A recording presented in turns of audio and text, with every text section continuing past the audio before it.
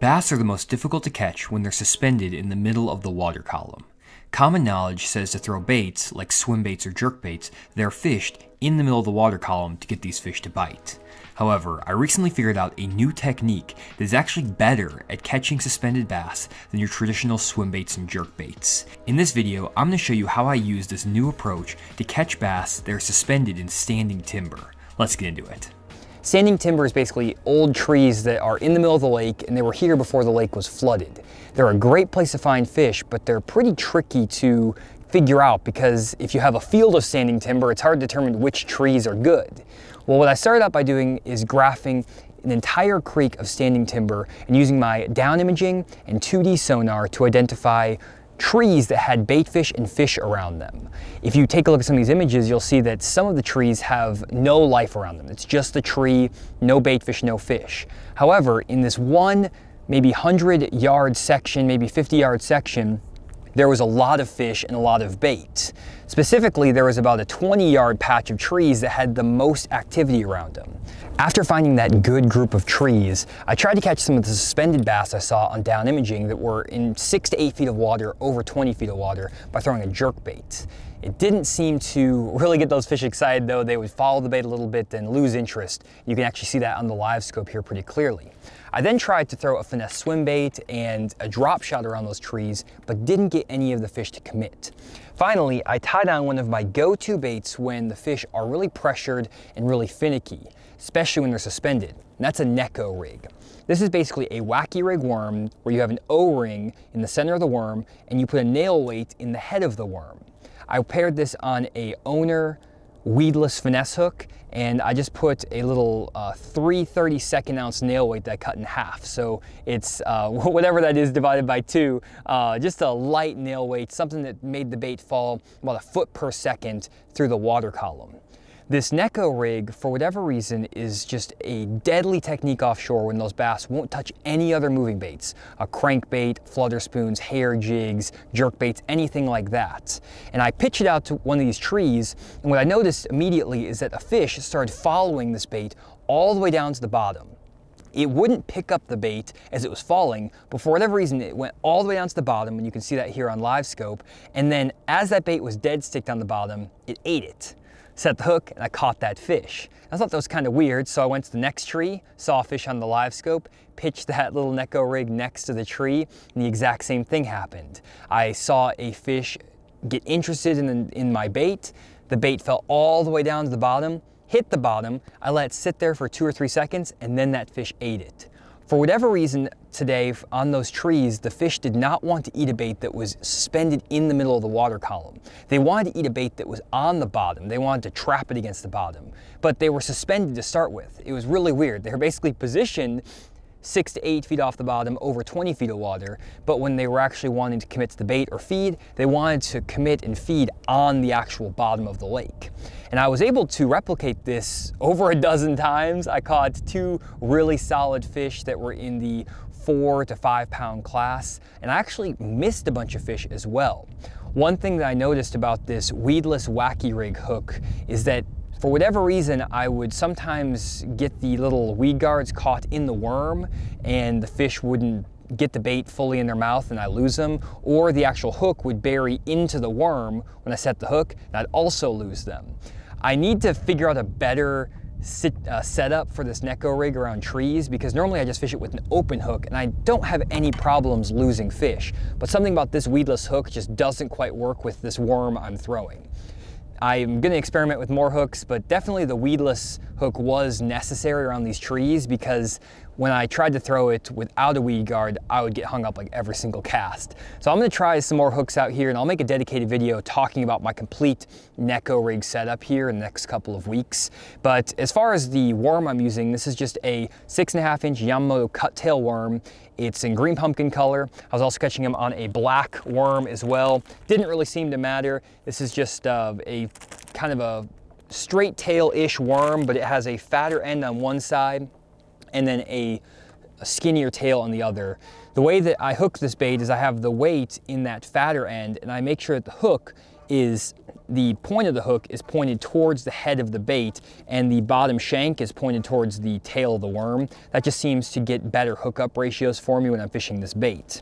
As far as my equipment, I actually started throwing it on six pound test because I was lazy and didn't want to retie an eight pound uh, fluorocarbon leader, but I actually ended up breaking off a really big one because it got me in a tree. So I eventually switched over to an eight pound uh, Sunline FC Sniper fluorocarbon leader. The eight pound tested a little bit better around those trees than the six pound test. And I also put some 20 pound braided line, this is some Sunline braid, on the spinning reel so I have a little bit stronger test when it was getting sawed off in those trees.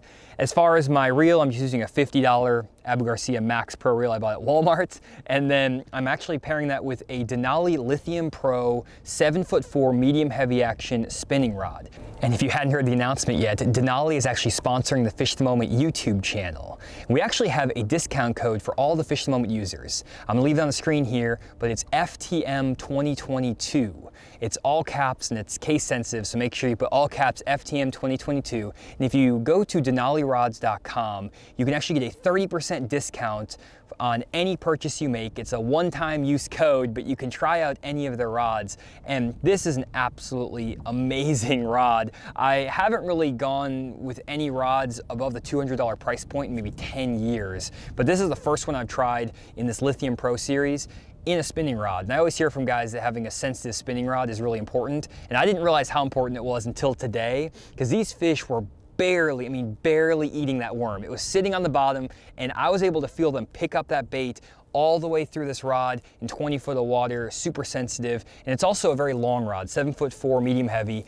And so it has a good amount of backbone to it, but still a little bit of tip. And that allows me to set the hook when those fish are really deep. I'm not saying this is the only rod you ever want to buy, but this is a really nice one, so I really like it. But they also have a lot of other great rods that I throw as well. They're more in the like $129 range, like this Attack series that I really like. And there's also the um, Covert Light series you've seen me throw a couple times as well. So there's a lot of different price points. You can go to the website, denalirods.com, use that promo code, and get 30% off, try any of the rods. But back to my fishing day, it was really cool to see those fish react on live scope and learn a new bass behavior that I really don't think I fully understood before. The fact that those suspended bass will actually follow baits all the way down to the bottom and then eat them off the bottom of the lake as opposed to biting them while they're suspended or work through the middle of the water column. I feel like this is something that I may have been doing wrong for a long time. Whenever I see suspended fish, my first instinct is to pick up a bait like a swim bait or a jerk bait. And I don't initially go to a bait like a Neko rig or a drop shot, something like that, to work through those fish and then have them follow it all the way down. This is maybe something you haven't tried either. And so if you are seeing suspended fish on your fish finder and you're trying to get them to bite, pull out this Neko rig, pitch it by their area, fall all the way to the bottom, dead stick it down there, you might be able to get some really good bites. And when I first got out here, I was the only guy fishing the standing timber out here in the middle of these pockets. No one else was doing it. But after a few guys saw me catch 15 or 20 bass doing it. They got curious and started doing it themselves, but I actually didn't see another angler catch a single fish out of the standing timber. Some guys had Garmin Live Scope on their boat and were trying to throw jerk baits around and weren't getting any bites just like I did when I started doing this. And then other guys were actually just pitching jigs or like shaky heads around the trees and they weren't getting bit either. And I think the key is that the technique is pretty specific in the sense that I needed to pitch that bait directly at a fish that I saw in the live scope and watch that bait fall past the fish.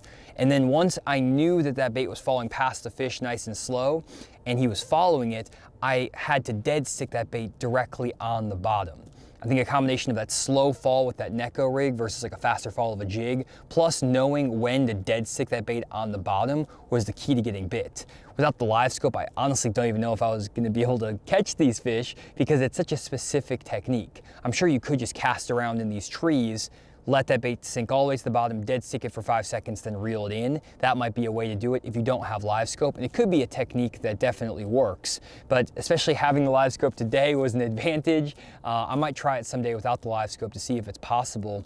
And one other thing is that a lot of times these bass behaviors only happen once in a blue moon. I know I've seen some crazy stuff that fish do on live scope that will happen one day, but I've never seen the bass repeat that behavior the next day. So you need to make sure that you're constantly paying attention to what the bass are doing, both in your electronics, just the way they're biting your bait, how how they're biting your bait, like are they biting it when you're reeling the bait fast or slow? All those things can give you a clue as to how the fish are acting that specific day. And you want to vary up what you're doing. Don't just stick with the same two or three baits all the time and use the same retrieve, same way you always do it. Go to some unique baits, try some different techniques in areas where you know the fish are present, and you'll oftentimes get onto something that other guys on the lake aren't doing, and you'll put a lot of good fish in the boat like I did today. So I'm gonna try to go catch one more fish out here for fun, and uh, we got the camera in the boat now, so let's see if we can put one more big one in the boat before we call it a day.